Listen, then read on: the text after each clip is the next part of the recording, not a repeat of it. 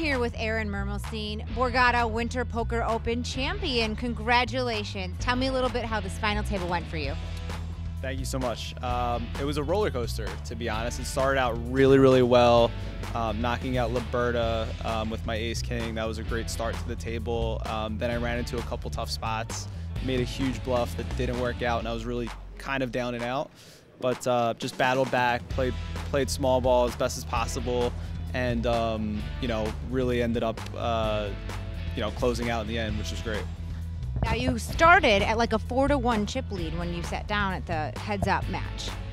How were you, what were you was going through your head when he started chipping back up against you? Uh, Gene's a great player. Um, his style is uh, is one that uh, can be can be difficult to play against. So uh, I had to change my style a little bit against the way that he was playing. In the beginning, he was really taking advantage of the way I was playing, and so uh, midway through our, our heads up, I, I ended up changing a little bit, and I think it worked out a lot better for me. Is this somebody that you've played with before, being on the East Coast? Because you say you know his style, he knows your style. How are you guys so familiar with each other? Uh, we played we played a bit yesterday.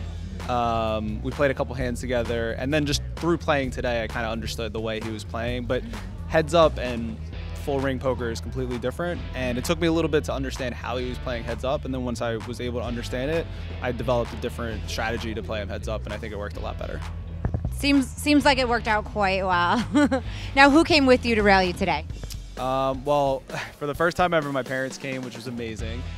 Um, my best my best friends were over here to watch me. But congratulations, this is so awesome. Looking forward. You're going to be back in April, right? Yep, definitely. I'll definitely be back in April for this.